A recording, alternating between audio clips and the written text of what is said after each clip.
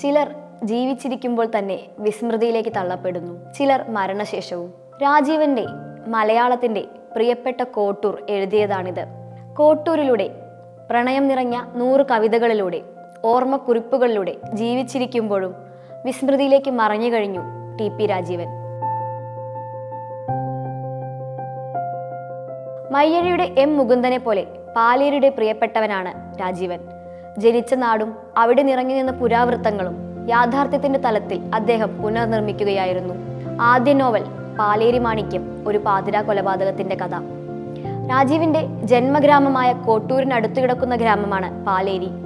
അമ്മയുടെ നാടായ പാലേരിയിൽ കുട്ടിക്കാലം തൊട്ട് കേട്ടതും അറിഞ്ഞതുമായ കഥകളും സങ്കീർണതകളും പുരാവൃത്തങ്ങളുമാണ് മലയാള സാഹിത്യത്തിലെ തന്നെ മാണിക്യമായി മാറിയ നോവലിന് നിദാനമായത്. കോട്ടൂർ രാജീവിന് നാട് മാത്രമായിരുന്നില്ല. ജീവിതവും അക്ഷരങ്ങളും പച്ചപിടിച്ച തട്ടകം. രണ്ടാമത്തെ നോവൽ കോട്ടൂർ ഗ്രാമത്തിന്റെ magical history K T N Kottoor എഴുത്തും ജീവിതവും. കോട്ടൂർ ഗ്രാമത്തിലെ മഹാപ്രസ്ഥാനത്തിന്റെ ചരിത്രം. കേരളത്തിലെ സ്വാതന്ത്ര്യ സമര ചരിത്രത്തിന്റെ ഒരു എപ്പിക് ക്യാൻവാസ് ആണ് ഈ നോവലിൽ വിടരുന്നത്. ആദ്യ കൃതി പുരാവൃത്തങ്ങളിൽ നിന്നും യാഥാർത്ഥ്യത്തിലേക്ക് ക്രാഫ്റ്റ് ചെയ്യപ്പെട്ട മാനുഷിക ബന്ധങ്ങളുടെ കഥയായിരുന്നു.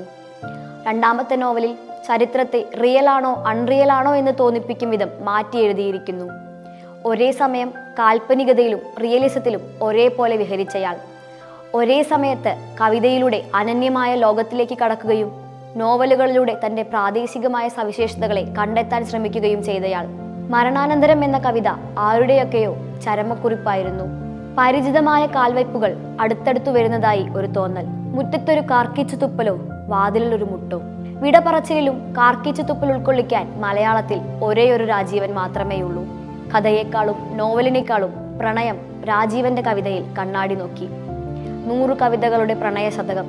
പിക്ചർ സ്റ്റാറ്റസുകളായി സാമൂഹിക മാധ്യമങ്ങളിൽ എമ്പാടും നിറഞ്ഞു നിന്നിരുന്നു രാജീവന്റെ പ്രണയ ശതകത്തിലെ വരികൾ. ഭാഷയുടെ കെട്ടുപിണച്ചിലുകളോ അനാവശ്യ അലങ്കാരങ്ങളോ ഒന്നുമില്ലാത്ത നൂറ് കുറും കവിതകളാണ് പ്രണയശതകത്തിൽ.